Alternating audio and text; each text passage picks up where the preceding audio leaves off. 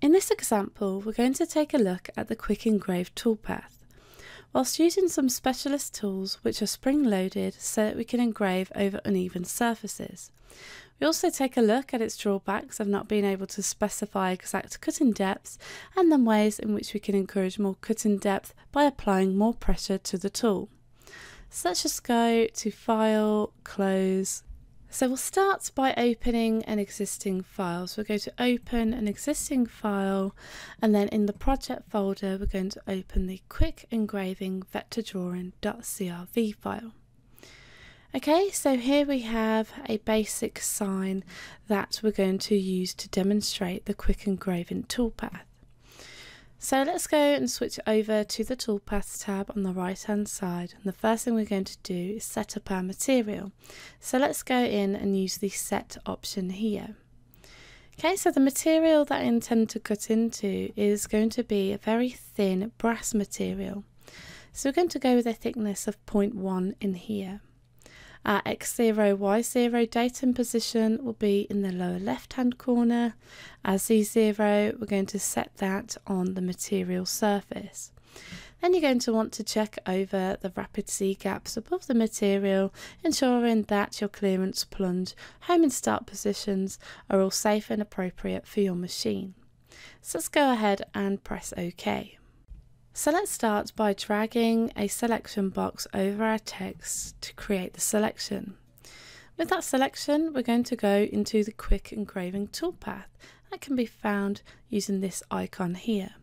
And if we click on that, that will open the quick engrave toolpath. Okay, so this form is set out in a similar fashion to the other toolpath forms. So at the top, we have our tool selection over here uh, then we have our strategy selection options within this area here. We have toolpath specific parameters that we can enter in here. And then we have an area to specify the name for our toolpath. Now in the quick engrave toolpath form we also have a further option at the bottom here to select the post processor code directly from the form. So let's start at the top and we'll work our way down. Okay, so the first thing we're going to do is select a tool. Okay, so if you use the select option here, that will open up the tool database. Now the quick engraving toolpath is designed to work with specialist engraving tools. Now in the tool database we have two tool sections that are relevant to specialist engraving. We have engraving and we have specialist. Now we're going to look under the specialist section of the tool database. Okay, so here we have the most common type of tool that is used and that is the diamond drag tool. This is an industrial diamond which is then dragged around the surface of the material to create the engraving. So you'll notice that within the cutting parameters for the diamond drag tool, there is no cut depth specified. And the reason for this is that the diamond drag tools often come spring loaded, so they're able to be ran over uneven surfaces. But this does mean that we're not able to force the tool down to a specific depth because it's going to be controlled by the amount of pressure that we can apply to the tool and how much compression is in the spring at that moment in time. Now there is a way to encourage more depth and we'll go over that shortly. Now, other options that we do have for this tool in the database is the ability to specify the diameter and the angle, along with the line width and the step over. So we're just going to go with the defaults for this tool. So we'll go ahead and select that and we can see it's now been assigned within our quick engrave toolpath form. So a way that we can control or encourage more depth in using a spring-loaded tool is by using the depth or pressure option. Now this allows us to specify a depth which we're going to place onto the spring-loaded tool to then encourage more compression in the spring which will then force the tool or at least increase the pressure on the surface of what we're going to be cutting with the tool that we've selected. So for this particular example, we're going to go with a depth or pressure of 0.1. So that means that we can take the tool down 0.1 of an inch in the z-axis and that will increase more pressure at the tip of the tool. So the next thing you need to do is specify a strategy. So we have the outline or we have fill. Okay, so we're just going to start by looking at the outline. So that will just create a toolpath following the outline of each of those text entities. Okay, and then we can just simply go ahead and press calculate and we can see the result of the toolpath here in the 2D view. If we close out and then go into the preview toolpath form, we can actually preview that toolpath to see how that would look. Okay, so you can see the outline there and that doesn't look too bad. Okay, so let's have a look at a few of the other options within that form. So we'll go back into the 2D view and we'll double click onto the quick engrave toolpath. So now let's have a look at the fill option. Okay, so within fill, we have the option to apply an offset strategy, and that will just basically offset the vector inside to create that pattern, or we could create a hatch strategy where it will fill the text uh, with a hatch at an angle that we specify in this form here. Now, the handy thing that we have here for the fill strategy is the option to specify a step over of lines that we're going to be used to fill the text. For example, if we went with the offset strategy and we put in a step over of 0.025 in there and then go ahead and press calculate, you'll see in the 2D view it's going to fill as much as it can within an offset strategy with a 0.025 step over.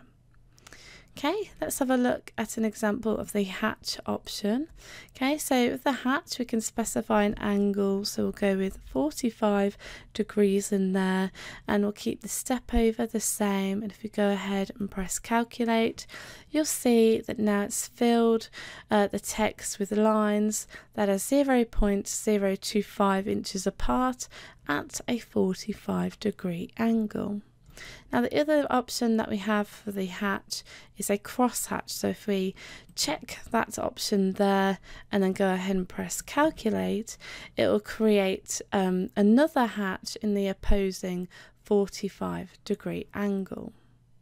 So let's just uncheck the option here to apply a cross hatch. And then let's go ahead and calculate that. Then we're just going to close out we're going to go into the toolpath preview. Let's just reset that preview and then we'll go ahead and preview um, our newly created engraved toolpath. Okay, so remember because we are using a spring loaded tool, the actual depth that you may see on the actual preview here may not be represented on your part that you cut out. And so it all depends on how stiff the spring is being used to spring load the diamond drag tool and the density of the material that you're going to be using. So let's just double click on the quick engrave tool path and we'll go back to our 2D view. Now, some machines come with a nose cone, and it works in a similar fashion to a spring loaded tool in the sense that it's able to move freely and engrave over uneven surfaces, except the nose cone has the tool at a fixed depth below where it detects the top of the surface, which means that we can engrave at a fixed depth whether we are using flat or uneven material, and therefore it improves the depth consistency. Now, when using the nose cone, we just need to specify some data in this section of the form here. So to enable the tool depth and the number of passes, we need to check this option here. So we'll start by inputting uh, the depth at which the tool is protruding below the nose cone. So we're going to leave that 0.02 in this case. And then we're going to specify the number of passes that it's going to attempt to get to our cut depth. So here we can use the arrow keys or we could simply type in a value by highlighting the number in this option here. Okay, and then we can simply go ahead and calculate that And then if we go over to our 3D view, and if we just close out there and into the toolpath preview form, we can reset that preview and we can preview the selected toolpath. And if we just switch on the visibility of that toolpath, we can actually take a look. Um, if we go up close here, we can see that it's created three overlaid lines which represents the passes when using the nose cone. Okay, so let's just put that back in the Z view there. And so that's all there is to calculating a quick engraving toolpath. Now the last thing that we haven't discussed is the post-processor option that's available in the quick engraving toolpath form. So let's just double click to go back into the form here. So we're looking at the bottom side here. So this enables us to quickly save out a toolpath and also if we have a machine that allows us to do so, we can actually output the toolpath directly to the machine itself. For example, a Roland EGX 300 machine will enable me to do that. Okay, so going into the post processor, if I just type in the letter R, that will take me to all of the posts that begin with R, and you can see that we have the Roland EGX 300 post processor in there. And then what we'd do is we'd check this option here to output direct to the machine. And we need to select the driver, and that's this option here. And it's this driver which will then communicate with the machine. So for the Roland EGX it uses a printer driver. So we would simply select from the drop down if we had the driver installed and then we'd go ahead and press OK and it would send the data to the Roland EGX 300 as you would do printing a normal document to a printer where we would then use this option to output the toolpaths. So let's just close out of the form here so not only can we output the toolpaths in the form, but we can still use the traditional way of saving out the toolpaths using the Save Toolpath option. And you'll see in this form, we also have the ability to output the toolpaths directly to the machine, like we saw in the Quick Engrave toolpath earlier. And so having the ability to output the toolpaths directly to the machine within the form just allows me to save out the toolpaths more quickly and more efficiently.